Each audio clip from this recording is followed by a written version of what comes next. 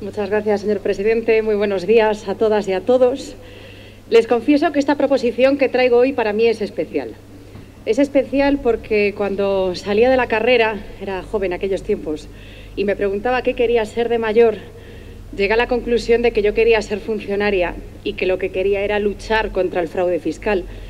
Por eso me saqué unas oposiciones de Hacienda y por eso trabajé en Hacienda durante unos cuantos años. Hoy doy un paso más, un paso diferente y desde este atril traigo una proposición para instar al resto de grupos políticos a que juntos luchemos contra el fraude fiscal de una manera más, más profunda. Verán, existe diversidad de criterios y diversidad de, sobre el alcance real del fraude. En realidad son estas cosas que tiene lo que no se ven, no, no es fácil medirlo.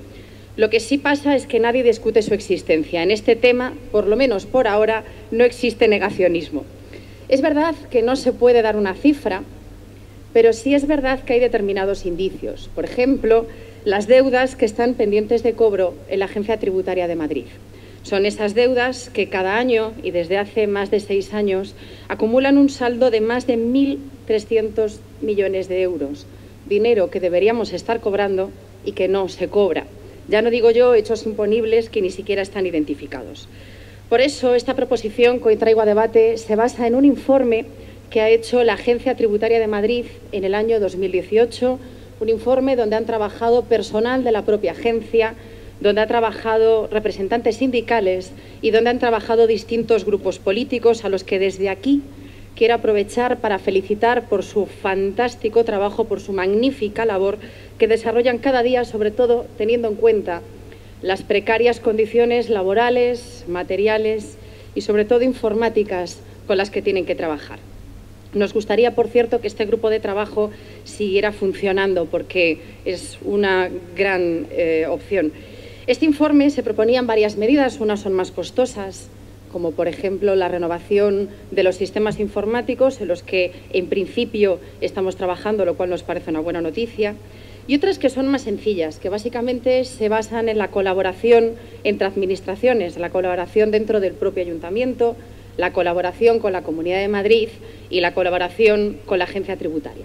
Dentro del propio ayuntamiento les voy a poner también algunos ejemplos que ilustran por qué es necesario. Por ejemplo, no existe una coordinación entre los órganos que otorgan las licencias administrativas y aquellos que supervisan el ICIO.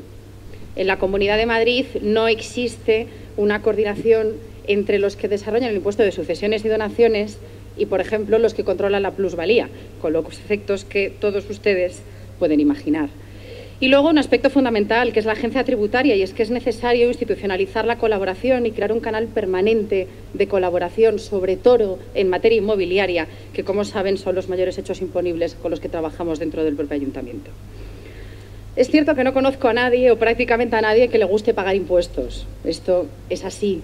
Pero yo creo que como poderes públicos nos debería preocupar que más del 70% de la población tenga la sensación de que los impuestos no se cobran de forma justa, que más que el 90% consideren que hay mucho y bastante fraude fiscal y que en realidad solamente el 25% de los ciudadanos crea que las administraciones públicas estamos haciendo todo lo que debemos para luchar contra el fraude fiscal.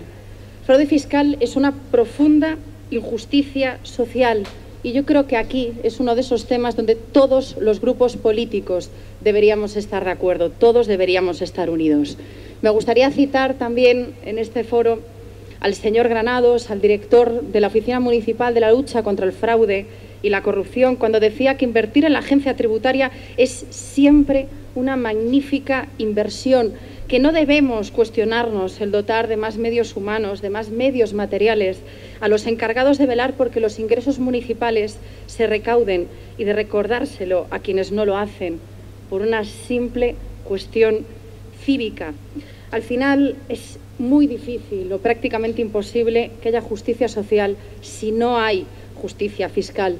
Por eso les animo y por eso queremos instar a la Junta de Gobierno a que invierta en la Agencia Tributaria de Madrid, porque siempre es rentable, porque investir en justicia fiscal siempre es beneficioso y porque además y por encima de todo es nuestra obligación. Muchas gracias. Muchas gracias. Bueno, muchas gracias a todas y a todos por el apoyo a esta proposición.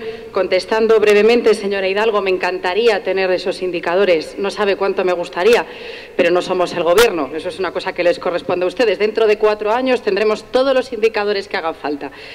Por supuesto que está ahí y claro que nos basamos en lo que dicen los representantes sindicales y también el resto de organizaciones. Al final, yo creo que una de las claves de gobernar es escuchar a la sociedad civil y es escuchar a aquellas personas que saben de estas materias porque trabajan con ellos. No, no veo nada malo en, en ello.